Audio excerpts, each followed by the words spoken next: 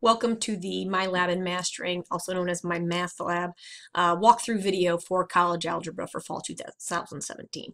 Um, so we are in our IB Learn page, and you can see that when you click on the My Lab in Mastering button, this is what comes up. So I am already linked um, as the instructor, so my I have instructor tools.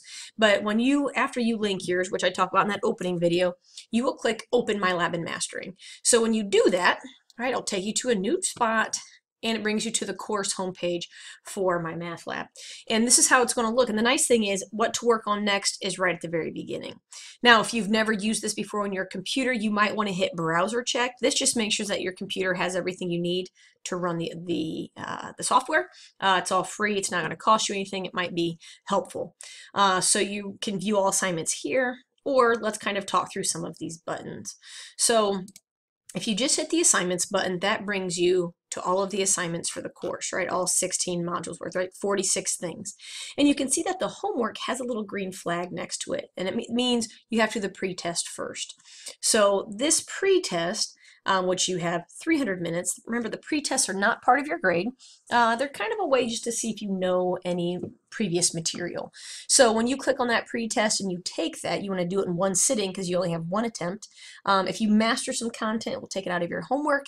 Um, if you're looking at problems going, man, I don't know any of this, just skip it, right? There's no penalty on missing problems in that pre-test. It just opens up your homework.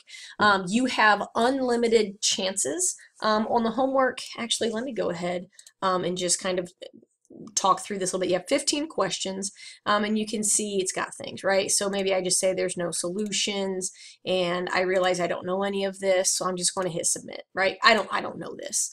And that's fine. I got it all wrong. It's okay that doesn't penalize me. But now you can see the flag on my homework is done. So now I can go into my homework, and again, I have 15 questions. So when I go into question one, of course, I've done my other material, but I've got these options. I want to point out this question help at the top. When you help me solve this, it will walk through it step by step, prompting you how to help and work on this. Uh, you can view an example, which I do not, um, uh, I do not, uh, what's the word I'm looking for? I don't encourage that. I encourage help me solve this. I think it's very, very helpful. Or I want to point out the ask my instructor. So you can see that when you click ask my instructor, it goes straight to me with the question and you can say stuck or I just really don't know what's going on and you can send it. This sends me a link to this direct question and then I can give you good personalized feedback on this on this question. And so that's it's very, very helpful. Uh, you don't have to complete the homework in one sitting. Um, when it says final check, if I get it wrong, oop, incorrect, I can hit similar question. Notice it changes the numbers. Now I can check. Nope, that's not right. Um, I'm just going to keep get, maybe I'll guess one right. But notice that I, I can keep doing this. Um, oh, I got it right. And now I got perfect on that. So again, you can check it as many times as you want I prefer you not guess. Um, if this one has numbers, there's no way I'd be able to guess it correctly. Um, but you have multiple chances at this. Now this one, see how it says check answer? No, you know, blah, blah, blah. It gives you some feedback. So obviously it's you can get it wrong three times before it becomes a final check, and then you can go to similar question. And then you again can try it as many times as you want.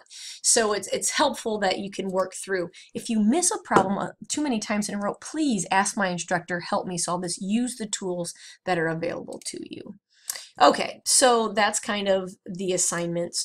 Um, you can also see after you go through your homework and you can kind of check, oh, I got a 6%. I probably should work on that again later. Um, you have a quiz, which you have two attempts. So when you do your first attempt, if there are problems that you got wrong and you don't know why, you might want to reach out to me and say, hey, Becky, I finished my first module one quiz. I'm not sure why I missed question four. Can you get some feedback on that? You know, and as long as you give me about a day, this is due on the 27th uh, midnight, don't be emailing me on the 27th at 9 p.m. because I'm going to be in bed, right? So if you email me on the 24th and say, hey, I don't know what I did wrong, that gives me time to get you feedback, get questions taken care of, and then for you to take it a second time and do well. So just be cognizant of the due date so that we can um, work back and forth on our, on our information.